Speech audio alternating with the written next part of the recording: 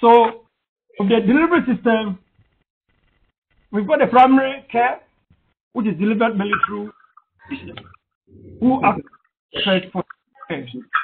And we say GPs are gatekeepers for secondary care. The meaning is that um, they make sure that patients are treated at primary care for ailments shouldn't necessarily go into secondary care. For instance, if uh, you spend half an hour with a GP, let's say roughly you might, uh, the government will be paying the GP maybe 400 pounds per, uh, per half an hour. Now, if it goes to secondary care, the same half an hour, the government is going to spend about almost a thousand pounds, for example. So when we say they are gatekeepers, they try and make sure that all cases that can be dealt with are dealt with in primary care so that you wouldn't be allowed to jump the queue to go to secondary care. So the system is such that the primary care is the first point of call for every ailment. So they are keeping the gate so that people will not flood with simple ailments going to the hospital to go get consultants, which will be very expensive for the government. Right. So in 2013, there were 40,236 general practitioners and 7,962 practices in an average of 7,034 patients per practice and uh, 1,575 patients per GP. This compares with 41,220 hospital consultants and a further 54,000 hospital doctors in training. The number also, the number of solo practices is currently 1,404, while there are now about 3,537 practices with five or more general practitioners. Right. So if you look at the service delivery, the way they are organized, it is structured with primary care and secondary care and then the specialist hospital. So primary care deals with simple ailments and the GP will make sure that you don't bypass them to go to secondary care. Right. General practices are normally patient first point of contact. And people are required to register with a local practice. Uh, practice. So any resident in the UK is supposed to have a GP. In some areas, walk-in centers offer primary care services for which registration is not required. It means that if you don't have any GP, you can still go into walk-in centers. And most general practitioners are private contractors, and approximately 60% of them practice under the nationally negotiated general medical service contract. So they all have GMC contract and they are registered. Apart from the GP uh, practices, we also have outpatient specialist care. So if you look at the previous slide, we have general practices and we have walk-in centers. After the walk-in centers, we have outpatient specialist care.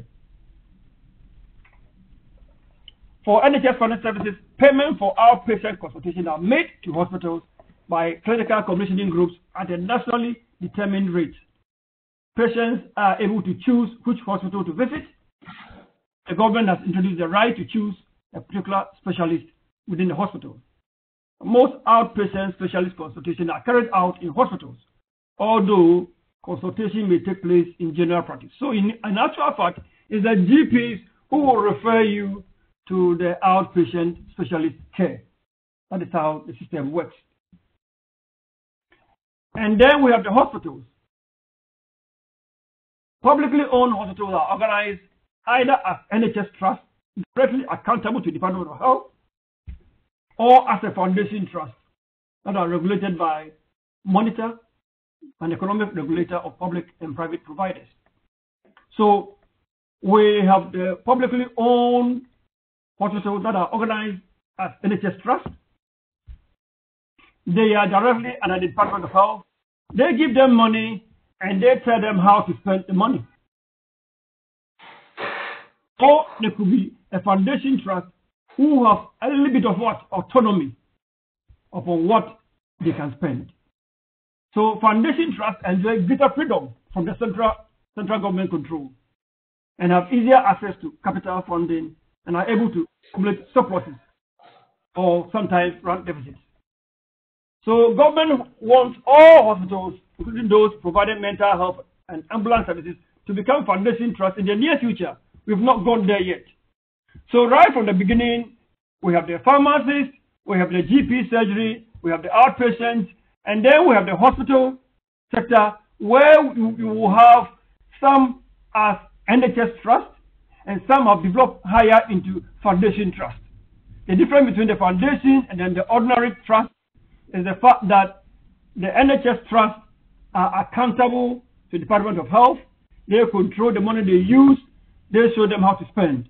But once it gets into a foundation status, then they have autonomy as to where their money will be spent. Okay?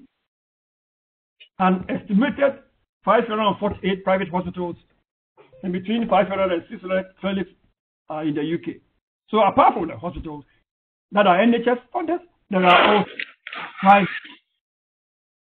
and about 548 in the UK who offer a full range of services, including treatment, either unavailable in NHS or subject to long waiting time. So if you thought that uh, you can wait in the NHS trust, then of course you go straight into the private and whatever service that you can get, you can get. Of course, some services like cosmetic and bariatric surgery and fertility treatment are hard to come by in the NHS. So in that case, you can still go to the private and have uh, your treatment. Right. So uh, public funds have always been used to purchase some private hospital care, such as mental health patients.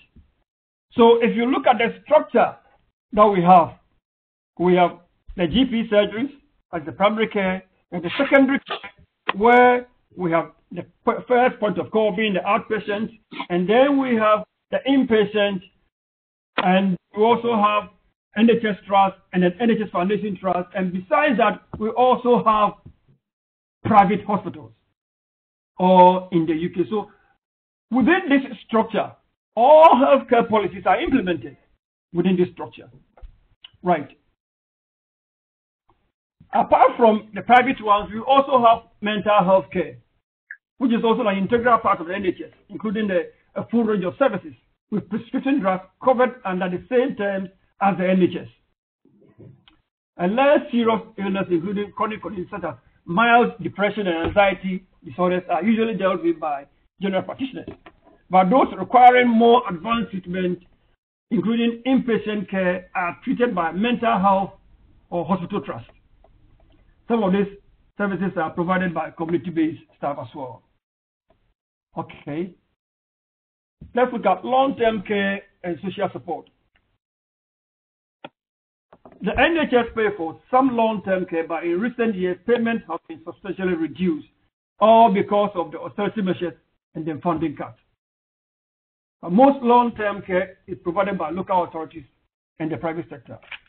And the full state support for residential care, for example, is available only to those with less than 14,250 pounds in assets, including the value of their house if they own one who also have high levels of need as assessed by their local council. So all long-term uh, care and support are dealt with all in the care homes.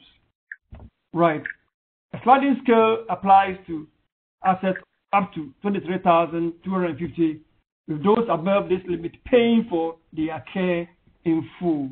So you could see that the system is not quite fair because people who are quite wealthy who have to go to the care home have to even sell their own um, houses to be able to uh, pay for their care. Right. Let's look at how it is organized. How the NHS, how the, uh, the health system in England is organized. Uh, those of you who joined the first lecture, you could see the, the new structure of the NHS is the same that translates here. We have the parliament on top. The money comes to the Department of Health. And then we have the Health Watch England, who are the mouthpiece of consumers or service users. So if you are not satisfied with the service that you receive and the NHS, you go through the Health Watch England. We also have Public Health England, who deals with health promotion and, and prevention. Then we have the NHS England in the middle. We have the Care Quality Commission at the right. They are there to make sure that the policies are implemented in a way that will ensure a good patient outcome. They have the right to close a hospital or a care home or every uh, service provider if you don't meet their standard. And then we have Trust Development Agency. Uh, and then the monitor. If down, if you look at the, the, the diagram below, we have community health services at the left, we have GP and other primary care contractors coming in, and then we have secondary care providers, NHS Trust, and Foundation Trust at the bottom. So every healthcare policy is implemented through these three uh, uh, uh, uh, branches. Below here, the actual practice is done through community health, GP, and other care contractors and secondary care. But then the preventive aspect is done by Public Health England. All right. So I've shown you how the NHS, the healthcare system here is organized. What are the key entities for the health system governance?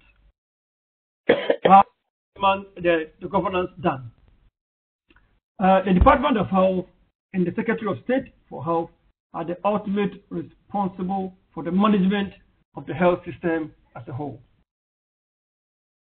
Now, the Health and Social Care Act, which came into force in 2012, which is a, legislation, actually transferred important functions to the new NHS, including the overall budgetary control, and along with the monitor responsible for certain diagnosis-related groups rates for provision of the NHS.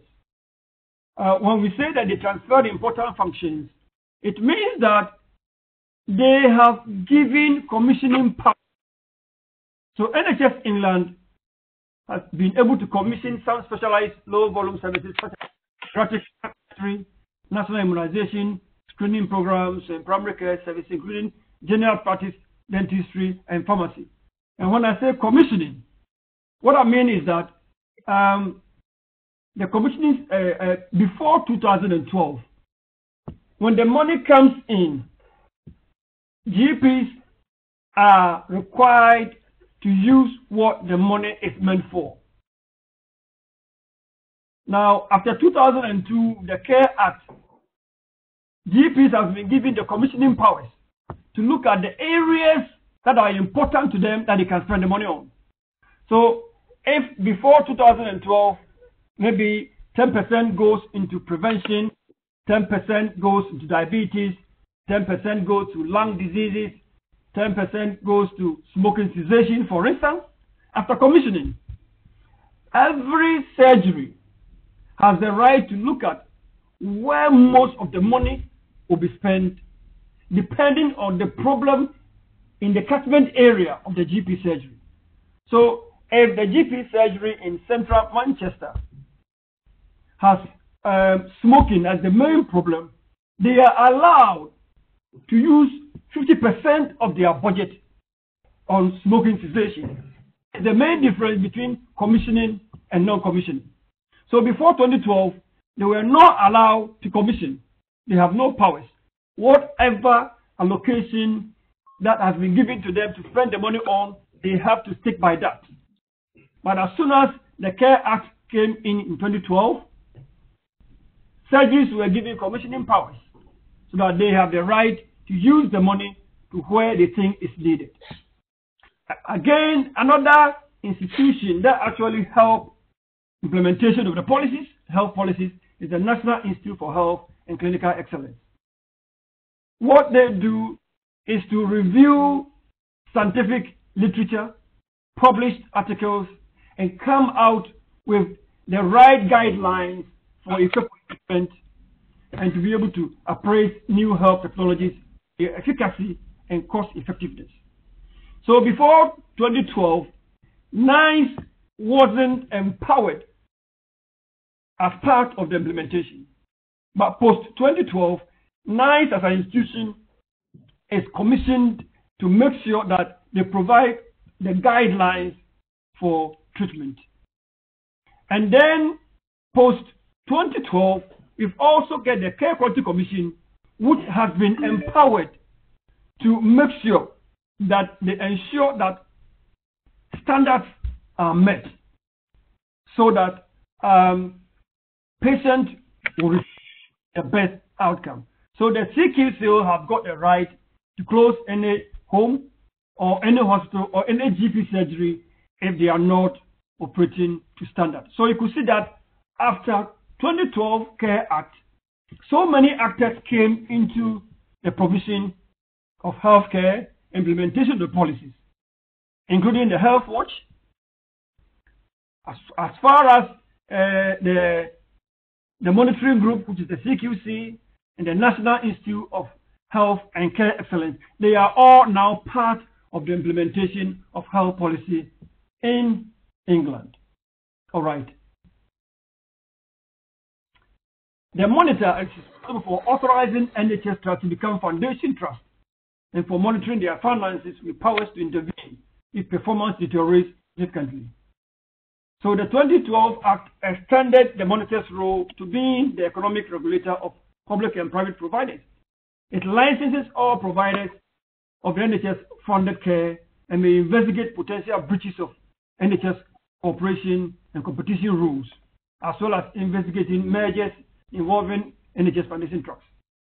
So in addition to its role in supervising clinical commissioning groups and direct commissioning of specialist care, the NHS England is responsible for setting the strategies, strategic directions of health information technology, including development of online service to book appointment, setting of quality standards for electronic medical record keeping and prescribing, and commissioning of the NHS IT infrastructure.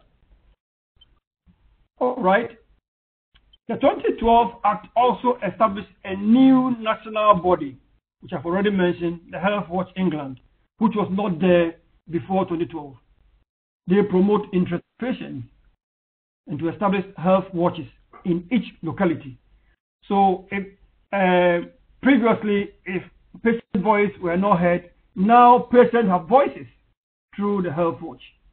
So the local health watches support people who make complaints about services and may make report quality concerns to the health watch, which can then recommend that Care Quality Commission take action. So the health watches, we've got the local health watches, and then they will report to the Health Watch England, which will in turn recommend CQC to take action if they feel that any service is not going to standard.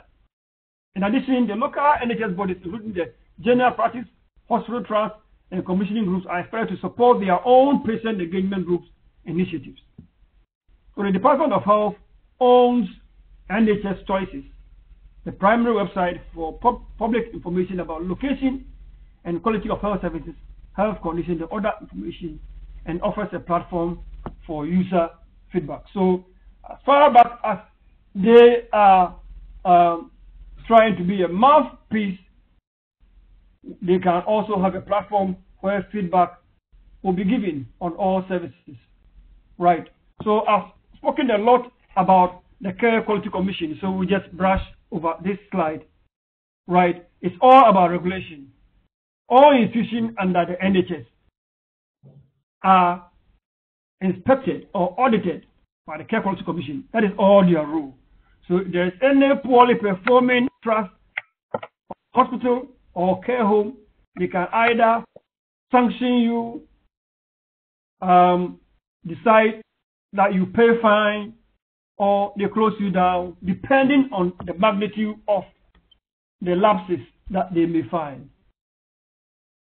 Now, what is being done to promote delivery system integration and care coordination as part of practice? Now, general practitioners increasingly work in multi-partner practices that employ nurses and other clinical staff who carry out much of the routine monitoring of patients and long-term conditions. Right. These practices also contain some features of medic medical home, that is, they direct patients to specialists in hospitals or to community-based professionals like dietitians and community nurses and hold treatment records of their patients. So uh, the multi-partnership that is introduced now to promote integration that if you go to surgeries at the moment, we have the physios over there, the dietitians over there. We have a lot of professionals coming together to make sure that you'll be able to provide the best uh, possible care in an integrated way. And now um, there is also a, a, a, linkage between primary care and secondary care so that data will be shared as all um, a means of promoting uh, the delivery and integration and coordination of care. Because sometimes patients are referred from primary care to secondary care and they are lost, especially cancer patients. And if the patient is, um, let's say, stage 3 or stage 4, once the patient is referred and secondary care takes over, there's no coordination at all, especially if the patient is, is on the path of palliative care or end of life care.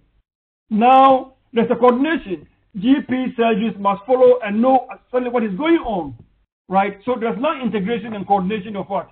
Care in the NHS, and they are all part of measures that are used to implement healthcare policy in England. Right.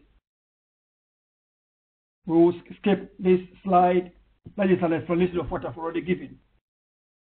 Right. How are costs contained? Containment of costs in the NHS. Uh, the NHS budgets are set at national level. Why? Because they are publicly funded. They usually on three-year cycle. So every two, three years, they have their budget being rolled out. The clinical commissioning groups are allocated funds by NHS England which closely monitor their financial performance to avoid overspending. And they are expected to achieve financial balance each year. So, with the current commissioning groups, the fact that they've commissioned them and they have the right to spend in the area that they think that are necessary does not mean that they can overspend. Right?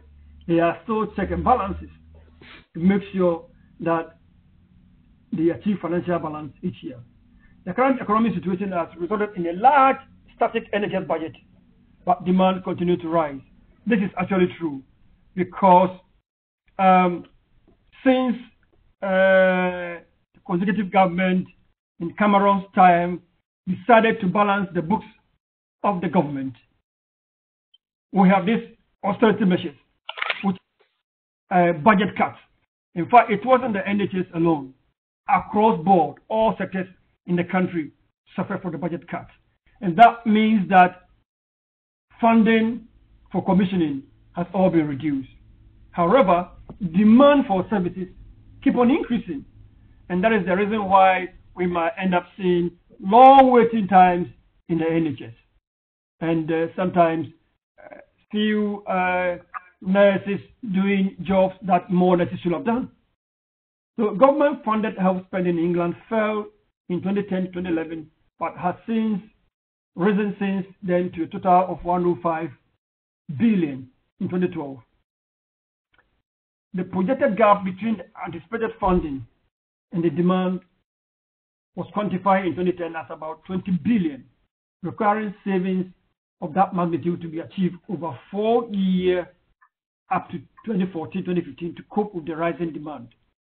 Even though funds are cut, demand for services keep on increasing. All right. What major innovations and reforms have been introduced so far? I think I've explained that a bit, but let's go over it. What major innovation and reforms have been made or have been introduced? Now we have the purchasing and regulatory structures of the NHS, which has been significantly reformed.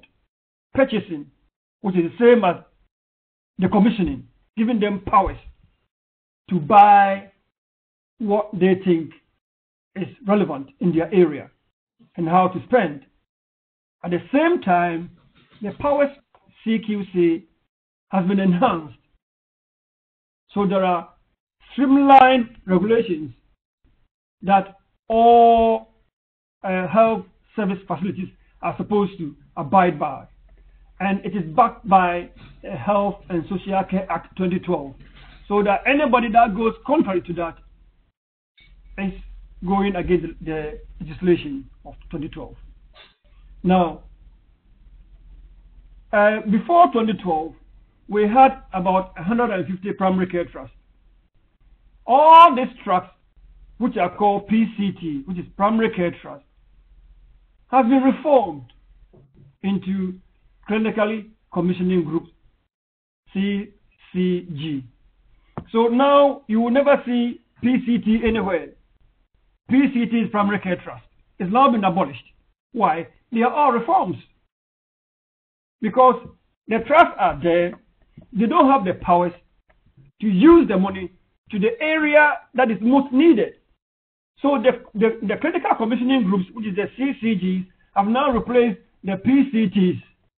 So currently, there are about uh, 211 across England with the goal of achieving or having these clinically led bodies make better use of resources in decisions about planning and purchasing a wide range of care for their local populations. So instead of the former primary care trust, there are about 150 of them, they have dissolved them because they were not effective. They sit down for the government to direct them as to what to do. So they've replaced them with clinical commissioning groups, which is CCG. So CCG has now replaced the PCTs across England. And they've not been given the powers to commission services that they think they need. These are innovations that has been introduced after 2012. NHS England was created to give those involved in the day-to-day running of the NHS more freedom from government ministerial intervention. It means that the CCGs have more freedom from ministerial intervention because they can decide which area they think is needed and they spend more money there. The reform also envisaged that all hospitals will become uh, uh, semi-autonomous foundation trust and that clinical commissioning groups will have more freedom to commission different kind of providers, including the NHS, private and voluntary sector providers and the overall regulation provided by monitor monitor's expanded role. Consumer and public scrutiny will be enhanced through the new health watch bodies. So now the reform is such that within a short period of time, maybe by 2025, we should move so that all hospitals become a foundation trust, so that they will have autonomy. Currently, it's semi-autonomous. But we believe that by 2025, we'll have full autonomy, where they will all attain the status of what? A foundation trust, so that they can have the powers to use their money to do whatever they want to do. Uh, even though these reforms are introduced, it is too early to assess the full impact of the reforms. Now, the last bit of the learning outcome that we'll look at before we finish this lecture is to look at practical barriers to the provision of healthcare in the national context. Practical barriers. Practical barriers. Um, one of them is accessibility in terms of social and transport issues. Um, these uh, barriers, even though are a bit uh, visible in the UK, is more visible outside the UK. Um, different, although the NHS is free and everybody can access it, uh, people with a higher social status tend to have access to everything they want because they can choose to go to the private and have any best service that they want. So, and in terms of that, you could see that those in the lower social strata in society, even though the services are available, they may not be accessible because there's difference between availability and accessibility, right? And this is very pronounced if you go to uh, developing countries. There are hospitals all over, but a poor peasant will not be able to access it because of the person's social strata. Apart from that, uh, in terms of transport, I don't think transport is an issue in the UK. But again, if you go outside UK, transport is a problem. People live far, far off, and they have to travel to access health services. And there are instances in some developing countries where pregnant women need to be carried in a wheelbarrow to travel long distance before they can have access to health care. So you could see that health care may be accessible, but it may not be available to different people because of their, uh, their, uh, their status in society or because of distance in terms of transport. And of course, uh, the only thing that you can say about the UK is that still, even though it's free, uh, people in the uh, in the in the high the high the, the hierarchy of the social status, the middle class, have more access. They have easy access. Let me say easy access than uh, somebody uh, as a working class person. So transport per se is not an issue that can be a barrier because even in terms of uh, ringing 999 for ambulance to come in, they are all quite easy. Even though there are still areas within the UK where it is difficult even to get the ambulance to come in and actually take time. Right. Now, another practical barrier as far as provision of healthcare in the national context is concerned is funding. Now, I've already highlighted on funding. In fact, um, cost of treatment, either private health insurance, are all issues that needs to be looked at. What I want you to look at in terms of funding is number one, the austerity and funding cut. In fact, there are so many services that have been withdrawn. If you want to get them, you can go to private if you have money. All because of what? Funding issues. So number one, we've got funding cut as a result of the austerity measures. Some frontline services has been removed, um, leading to a shortage of staff, long waiting time, those are all issues that boils down to funding and the austerity measures introduced. Um, in terms of cost of treatment, in the UK, uh, prescriptions are paid for as long as you qualify. And at the beginning of the lecture, uh, I, I, said that children, uh, pregnant mothers, and people who are old 60 and above are all having uh, free uh, treatment.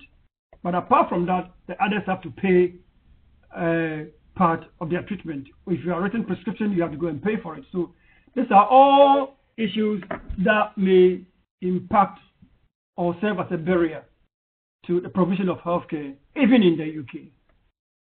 And then the, the issue of private health insurance cost is very, very, very expensive. So it's not everybody that can go in to the private sector. You have to re rely on the NHS. No matter how long you're going to wait, you have to wait if you don't have access to private health insurance so that you'll be able to access private health services. What about the issue of safety? Again, the issue of safety uh, is minimal in the UK. But if you look at uh, other contexts in developing countries, in other parts of the world, safety is a major barrier to access to healthcare. For example, in war zones, in conflict areas, and in areas facing natural disasters, safety is a typical barrier to uh, uh, access health care. So the health services will be available, but they may not be accessible to individuals because of either their social status, transport issues, the treatment costs, private health insurance, whether the area is in a war or conflict zone, or whether the area is facing a natural disaster. These are all areas that can be looked at as barrier. So if you look at the last learning outcome, which is um, last attack the analyzing the practical barriers to provision of health care in the national context. You can use any uh, national context to explain, right? If you have got any experience, if any other country that you can use, use them. Uh, I've got um, a sample of the task that I'll email to you uh, individually to have a look at. Because from the conversation that uh, Joseph and Christina had when the system was failing the other time, you could see that uh, there are issues that need to be looked at in terms of how to organize the materials, how to source things on the internet, and uh, some of you being away for some time and coming back to education.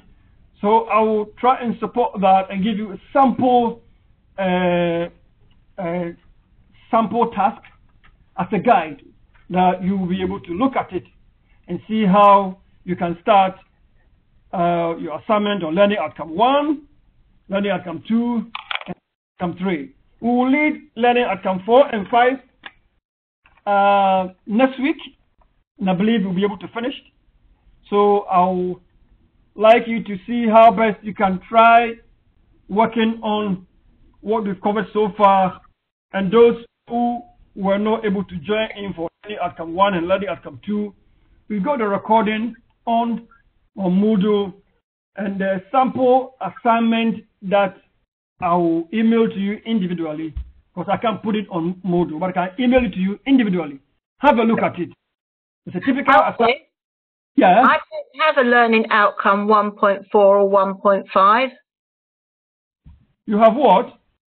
You, you just said we've just done this is learning outcome one, and we've done 1.1, 1.2, 1.3 today. I don't have a learning outcome 1.4 or 1.5. No. What Wait. we what we're doing today is learning outcome three. Learning Yeah. outcome. It starts from 3.1, 3.2, 3.3, and 3.4. And 3.4 is the practical barrier that I've just uh, discussed at the end of the lecture. Right? So 3.4 is next week is learning outcome four and learning outcome five. yeah. Which Okay. will, which will be next. Right? Okay, okay. So then I'm going to email sample assignment. Of course, uh, it's not based in England, but it's quite uh, constructive. It's designed in a way that will serve as a guide for all of you uh, to be able to see how far you can go in looking at the assignment so that uh, uh, whatever you'll be able to do next week will continue from there. Do you have any question that you want to ask? No, I'm fine now, thank you. Okay. So I'm going to, um, I'll send you the link for the today's lecture, and then I'll email you the sample assignment. Have a look at it and see how best you can make use of it. Is that right, everybody? Yes, thank you. Thank you. Thank you. Right. Bye bye. We do apologize for the mishap, please. We do apologize. If the second time it's happening, and anytime it's Elvis time, there's problem. Please, apology. Okay, That's no, all right. that's fine. Thank Okay. you. Bye. All right. All right. Bye. Bye.